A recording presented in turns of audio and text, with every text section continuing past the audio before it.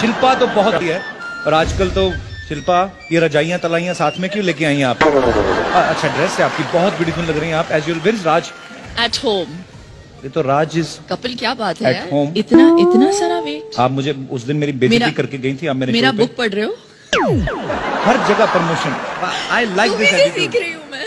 मैं अच्छा what is Raj doing at home sleeping इतनी ब्यूटीफुल बीवी हो वो अकेला सो रहा आदमी। आई मीन नहीं मैं घर जा रही हूँ। अरे मुझे बात बताइए ये हज़ार पाँच सौ वाले जो बंद हुए हैं आपकी ज़िंदगी पे कोई असर पड़ा उसके मतलब? अनिल जी से पूछते हैं। अनिल सर को तो कोई फ़र्क नहीं पड़ता दुनिया इधर की इधर की हो जाए तो जवान के जवान ही है। क्यों अनिल सर आप तो आप कभी लाइन में लगे हो अनिल सर सीरियसली? हाँ लगा हूँ मैं लाइन में अनिल सर ये डायलॉग ना मुझे आपके स्टाइल में सुनना है। रेखा जी के बाद मैं नहीं कर सकता। ऑल ग्रेट एक्ट्रेसेस उसके बाद मैं क्या क्या अच्छा दूसरों को सीनियर बोल बोल के ना आप ये बताना चाहते हैं कि मैं अभी भी यंग हूँ। क्या बात है सर आई लव यू अभी सोनम। विद्या जी ओह इधर तो वाह वाह वाह बल्क में एक्ट्रेसेस बैठी हुई हैं यहाँ पे। विद्या जी अपने फैंस के लिए हाय बोल दीजिए। हाय एवरीवन सोनम की इंग्लिश इतनी अच्छी है। सोनम मैं आपको एक डायलॉग देता हाँ। हूँ आपको खाली उसको ट्रांसलेट करना है इंग्लिश में कि जली को आग कहते हैं भुजी को राख कहते हैं। जिस राख से बने बारूद उसे विश्वनाथ कहते हैं।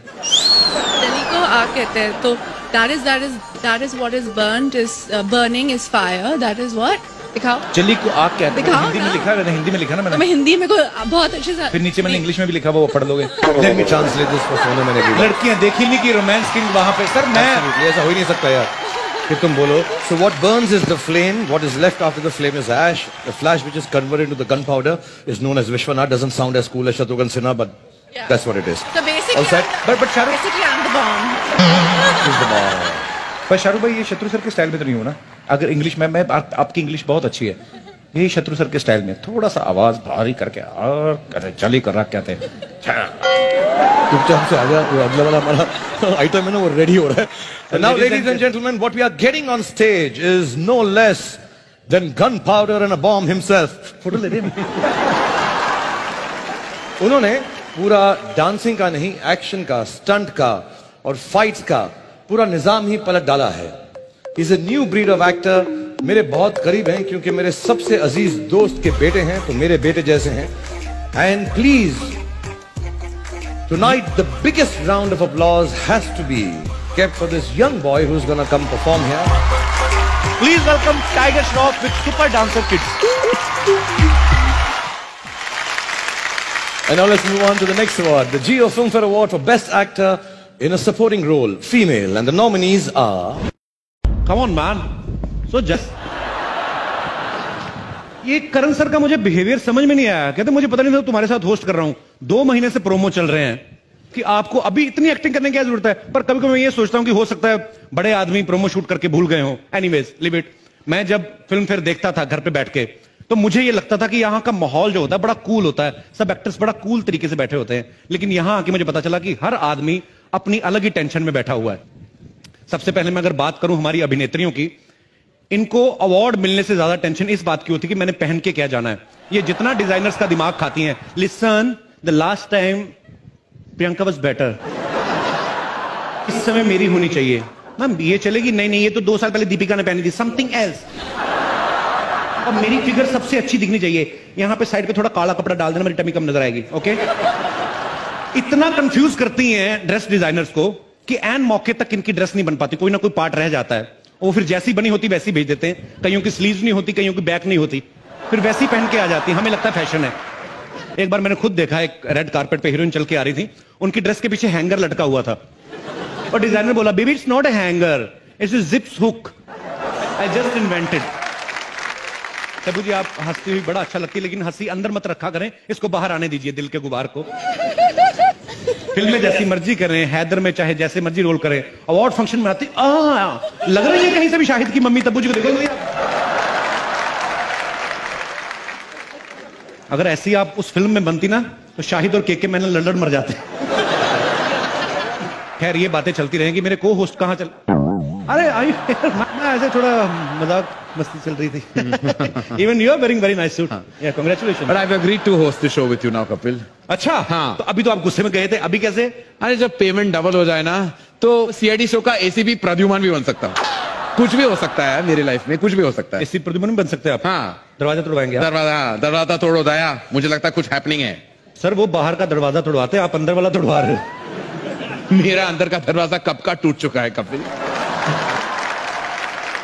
Let's now begin. Let's not talk about all these things. Let's Okay. go on with the proceedings. Hello everyone and very good day to you Good day नहीं, it's night time. Good day की बात क्यों कर रहे हो? Sir आप बड़े लोग हैं आप फ़िल्मों से पैसा कमा लेंगे ये स्पॉन्सर लोग हैं मैंने कुछ नहीं ना बोला तो ये पैसे मेरे यही काटेंगे ब्रिटानिया फिफ्टी फिफ्टी वाले तो गुड डे का प्रोडक्ट है good day to you very good day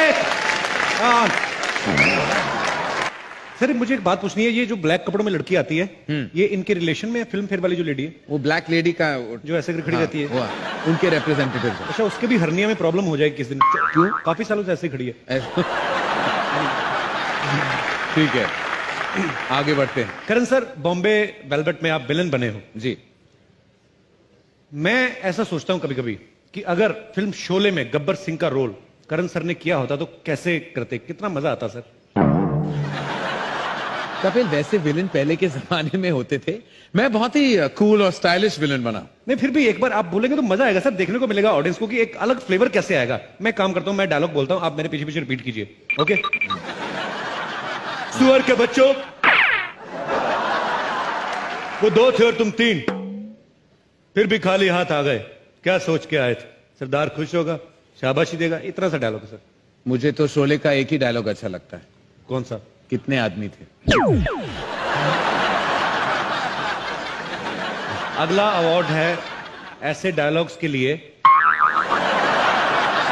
sir sir मुझे पता नहीं कभी कभी क्यों लगता है आपके अंदर ना कोई बहुत शरारती लड़की छुपी हुई है।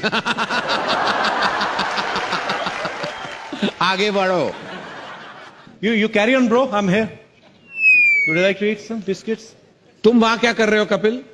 दो लड़कियों के बीच एक खूबसूरत नौजवान लड़का क्या करता था? Am enjoying Britannia heaven biscuit मेरे हाथ में है एंजॉय कर रहा हूँ मैं। तुम होस्ट हो कपिल तुम्हें यहाँ होना चाहिए। नहीं नहीं सर मैं लड़का भी हूँ मुझे यहाँ भी होना चाहिए। लेकिन मैं तुम्हें बता दूँ कि जो जो जितना ज़्यादा वक्त यहाँ गुजारता है उनको ज़्यादा पेमेंट मिलने वाला है। क्या बात कर रहे हैं आप? हाँ। Would like to some biscuits ये आपने मुझे पहले क्यों बताया Karan sir? What are you doing man या व्हाट आर यू डूइंग मेरे को पहले बता दे तो मैं तो come back bro this is where मैंने बी मेरा घूम फिर के ध्यान ना दीपिका की तरफ़ जाता है।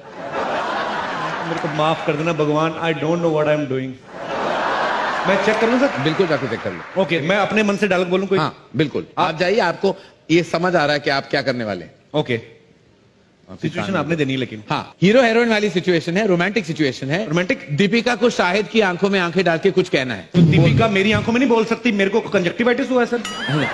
दीपिका आपको एक डायलॉग बोलना है। मूड करण सर बताएँगे जब तक तेरे पाँव चलेंगे तब तक किसकी सांस चलेगी। मूड ये है कि आप आईसीयू में हैं और मरने वाली है। और ये आपके लास्ट वर्ड हैं। I'm a method actor. I've never been to अच्छा सेक्सी कर दूँ?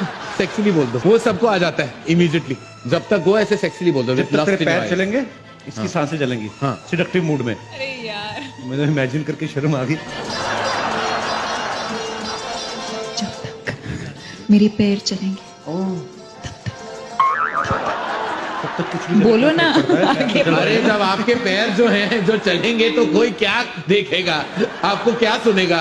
दिल die looking at your beautiful legs only हाँ। चलो। ये वैसे कोई सेगमेंट था ही नहीं हमारी स्क्रिप्ट में just wanted to talk to Deepika okay जोरदार तालियाँ दीपिका के लिए। टबू को बोलना है ये डायलॉग मेरे दो अनमोल रतन एक है राम तो दूजा लखन।